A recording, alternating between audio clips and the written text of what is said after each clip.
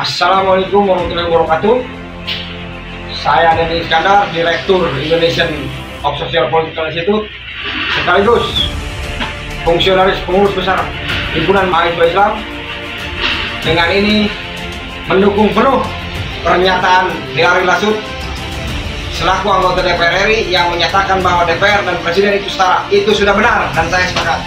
Karena apa yang disampaikan oleh Kahilari itu sudah sesuai dengan aturan perundang-undangan yang ada, terkhusus dalam Undang-Undang MP3. Oleh karena itu, kepada seluruh generasi muda, saya mengajak untuk ayo kita dukung Hillary dalam menyuarakan aspirasi masyarakat.